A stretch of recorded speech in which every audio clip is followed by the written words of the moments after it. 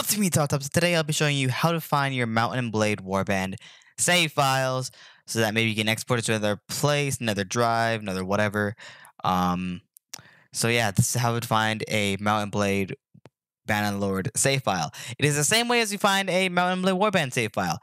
Um, they have not strayed away from this, which is convenient. Um, and a bit old school. But basically, you go underneath your documents folder after you launch up Mount Blade Warband uh, Bannerlord. After you want to launch up Mount Blade Bannerlord, you should go to Bannerlord in folder in the documents thing. And after you go to the documents folder and then go to the Mount Blade Bannerlord folder, you go to game saves, where you can also find the online images, the editor files, and configs.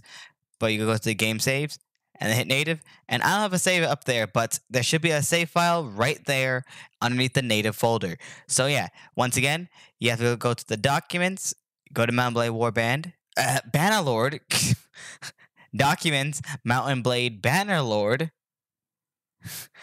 I got the Warband stuff stuck in my head. Um, game save files, native, and then it's right there.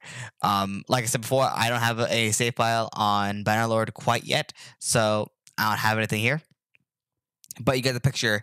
Um, your save file will be right there, meaning they can export it to other people. You can um, export it to a different computer. You can do whatever you want with it. Um, the, the file will be right there. And yeah. So guys, thank you guys, thank you guys, thank you guys much for watching. Um, if you like the video, like, if you don't, subscribe, subscribe, remember to be, be the top, keep it up. I'll see you guys next video. Take care, good. Bye.